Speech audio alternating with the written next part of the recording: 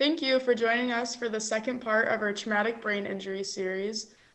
I'm Zoe Fransimone, and I'm here again with Dr. Mary McLaughlin.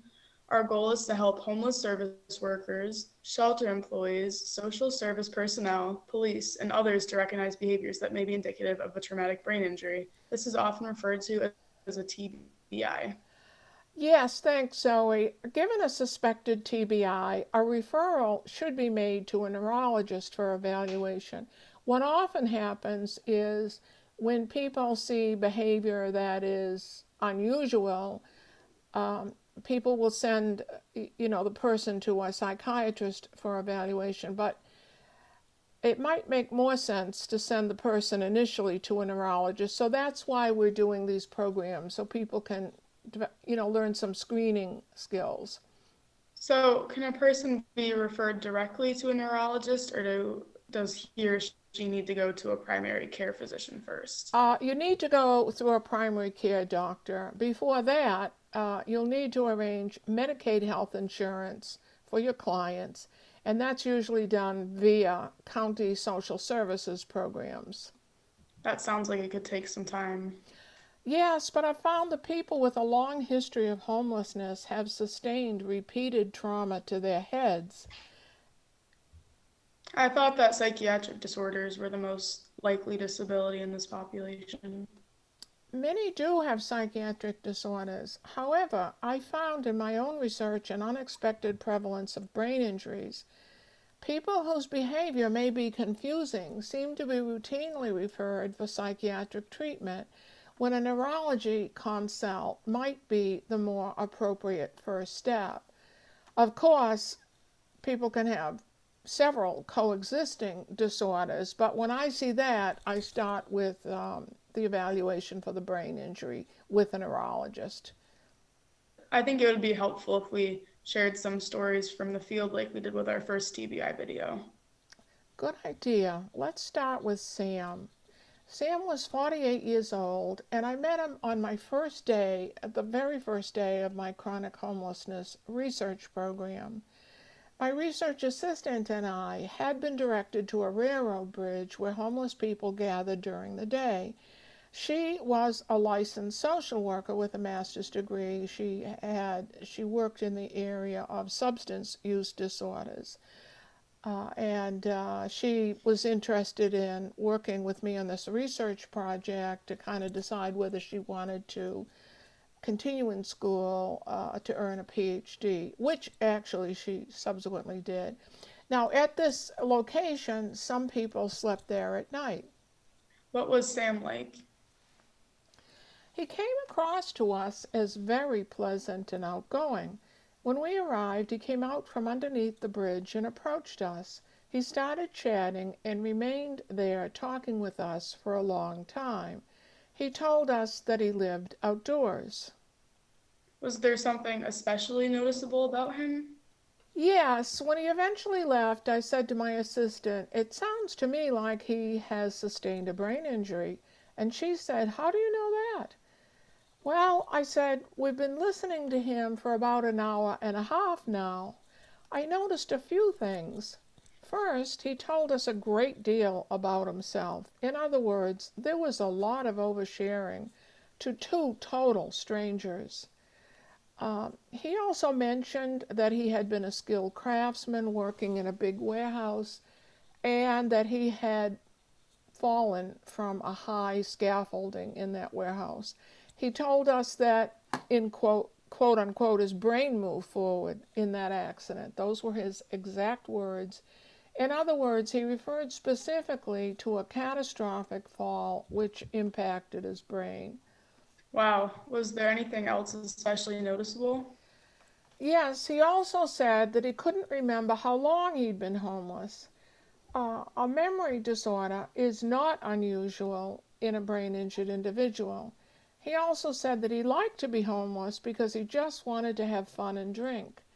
Although he was 49 years old, he sounded very adolescent in his outlook, uh, which is a characteristic that I noted in other brain injured individuals. He sounds similar to the people we discussed in our previous TBI video, especially with respect to his oversharing his memory deficit and the adolescent character his conversation, like you mentioned.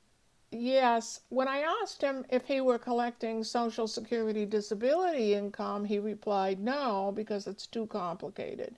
The application process had presented an insurmountable challenge to him. He also spoke about how much he enjoyed drinking. People with brain injuries often develop substance use disorders. One reason for this is that they sometimes or they may find it difficult to tolerate the confusion uh, or what we call cognitive dissonance that they sometimes experience. Can you tell us a little more about cognitive dissonance? Yes, it's basically about the internal stress and mental conflict that occur when our beliefs don't line up with our actions. In order to relieve the stress generated by this disconnect, people may self medicate. For example, Sam was a highly skilled employee before his accident, but afterwards, when he'd been living in a homeless shelter, he returned one evening with a few cans of beer, uh, which he didn't do much to conceal. Now, this was against the rules and would certainly be noticed, and it was noticed, and as a result, he was evicted from the shelter. This sounds like an example of the misjudgment that may characterize brain injured individuals.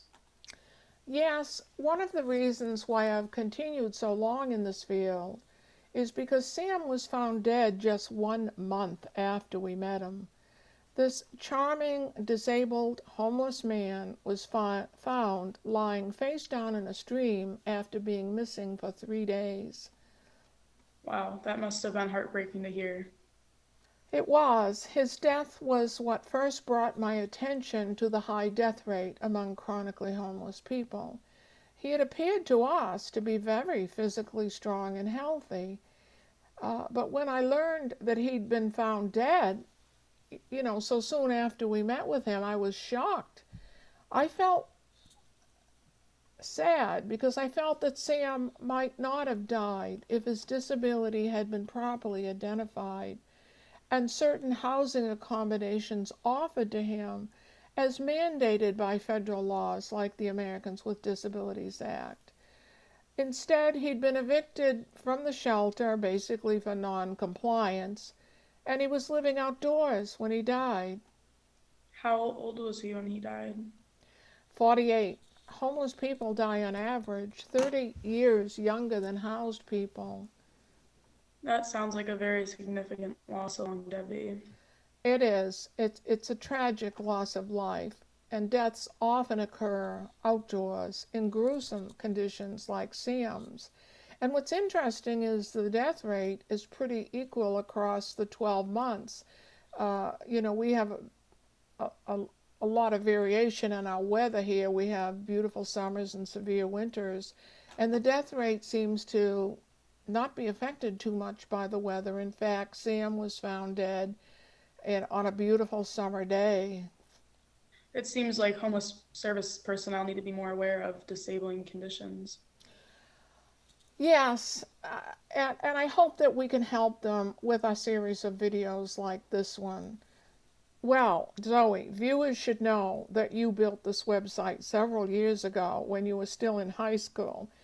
Um, Zoe continues to administer it and uh, is entering her junior year in college now. Thank you, Zoe, for all that you do to help homeless people. Please watch for more of our videos on this and related topics. You can also visit our website at drmarymclaughlin.com for additional information on this subject and more.